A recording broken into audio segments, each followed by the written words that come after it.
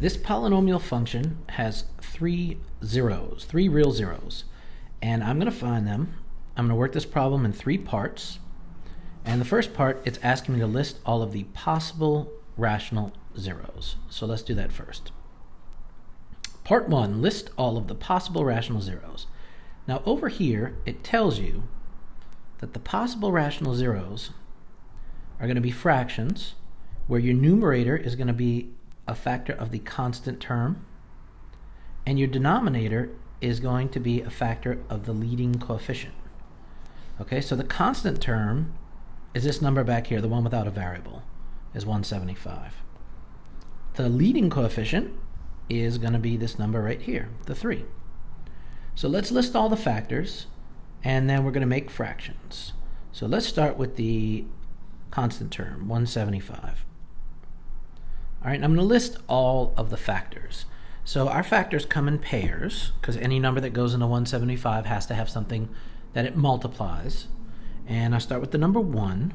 So 1 times 175. Your first one is always 1. Now let's do 175 divided by 2. Nope, that doesn't work. I get a decimal. 175 divided by 3. That doesn't work. I get a decimal. 175 divided by 4. Doesn't work. 175 divided by 5. Okay, two more factors. 5 and 35. 175 divided by 6. No, I get a decimal. 175 divided by 7. 7 works. 7 and 25.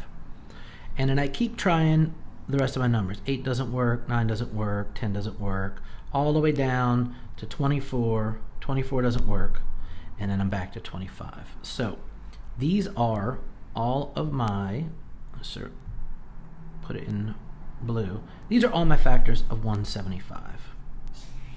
All right, it's pretty easy to find all the factors of 3 because they are only 1 and 3. So here's my factors of 3.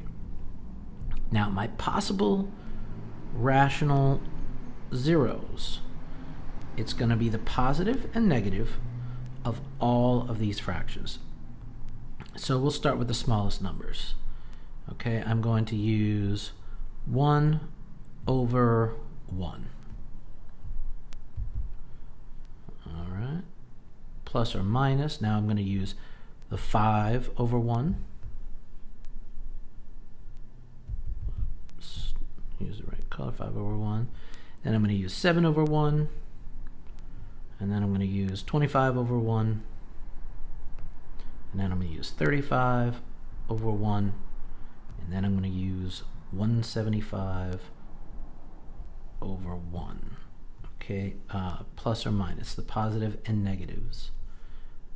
Alright so these are working towards my possible rational zeros. Now let's put them over 3 okay so the same thing all these numbers over 3 so plus or minus 1 over 3, plus or minus 5 over 3, plus or minus 7 over 3, plus or minus 25 over 3, plus or minus 35 over 3, and plus or minus 175 over 3. All right, now you reduce any of these numbers that you can. All the ones in this top row are going to reduce because anything over 1 is just itself, so we can write them as integers. Uh, anything down here reduce? I don't think so. Okay, so here are all my possible rational zeros. This is possibly going to be in multiple choice form, and you want to look for this one, plus or minus 1, plus or minus 5, plus or minus 7, plus or minus 25, plus or minus 35, plus or minus 175, and then we'll put all the fractions, plus or minus one third,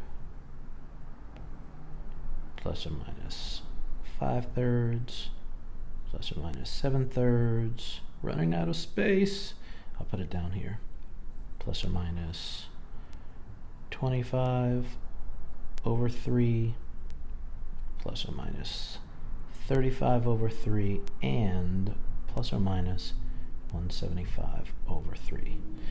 Okay, if I want to find the zeros of this polynomial function, I told you that there's three of them. Here are all my possibilities. Okay, it's going to be in here. All right, so that's a lot of them to try. All right, part two. Let's look at part two.